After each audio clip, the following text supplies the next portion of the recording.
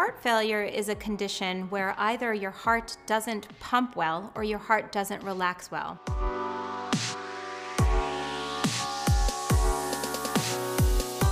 When we talk about heart failure with patients, we like to distinguish between symptoms of congestion and symptoms of perfusion. What I mean by that is congestion is when the heart doesn't pump or relax well, the pressures in the heart circuit and the lung circuit go way up.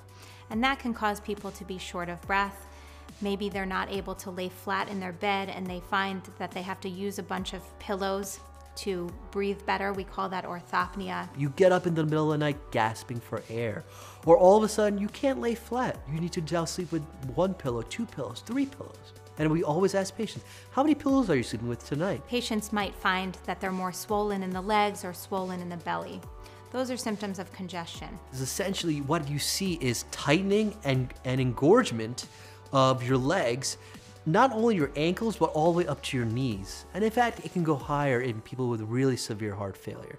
But when you start seeing what we call pitting uh, swelling, that is, you push down on your legs and you remove your thumb and you can still see that indentation, that's heart failure.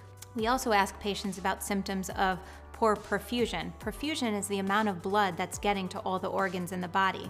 So if that pump isn't working well, then you might not be getting enough blood supply to the different organs. When the brain doesn't get enough blood, you're gonna have symptoms of fatigue, dizziness, passing out, lightheadedness. So shortness of breath and, and, fatigue are the two most important symptoms that I, that I don't want patients to ignore. They're very non-specific symptoms, but they can be the first signs and symptoms of heart failure and even a heart attack. Really make sure you seek out a thorough history and physical from a professional so that we can catch these diseases earlier and prevent them from progressing.